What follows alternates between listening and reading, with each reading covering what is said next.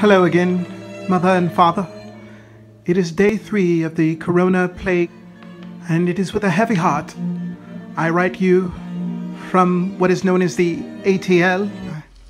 I've tried to keep count of what is left in the cupboard. Uh, I survived merely off of some nuts, but the other day I found some dog treats, and well,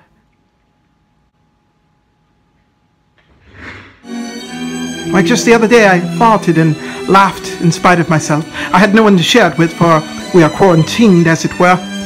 So far away from you, with you being in the living room and me being in my room. Perhaps one day when this plague is ended, I shall open my door and run into your arms. Until then, please stay away from me.